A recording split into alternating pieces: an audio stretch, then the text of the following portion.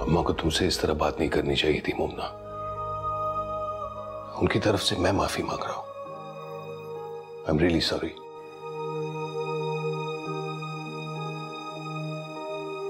तो सारी ज़िंदगी मुझसे ऐसे ही बात करती आई है, सजा। उसी एक बात का ताना देती रही है मुझे।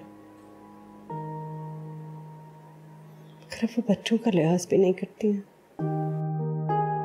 पता नहीं उसे एक बात का तावान मुझे कब तक भरना पड़ेगा। मोमना मैं जानता हूँ। मेरी खातिर तूने इस घर में बहुत कुछ सहा है मोमना और आज भी सिर्फ़ मेरे लिए इतना सब कुछ बर्दाश्त कर रही हो। मुझे तुम्हारे दुख का, तुम्हारी तकलीफ़ का पूरा एहसास है मोमना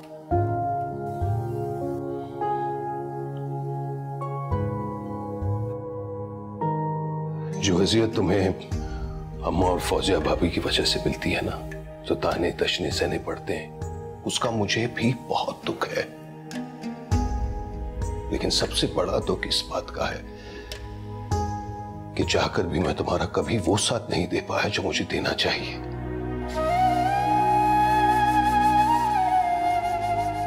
चाहकर भी मैं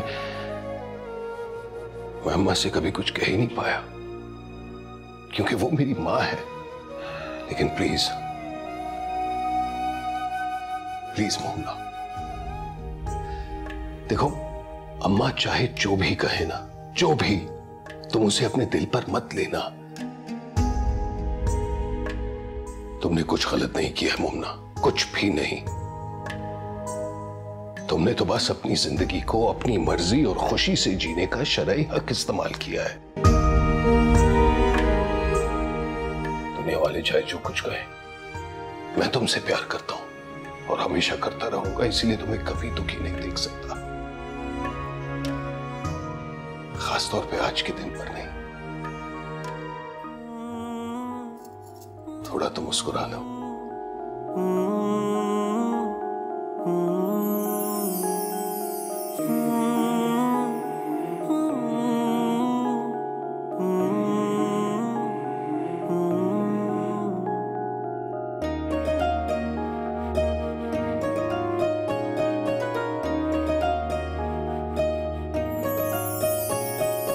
कभी नई दुल्हन सी कोई सहर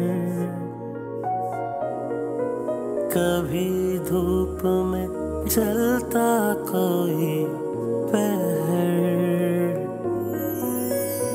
कभी सुरमई शाम का बादल, कभी गहरी रात का काजल।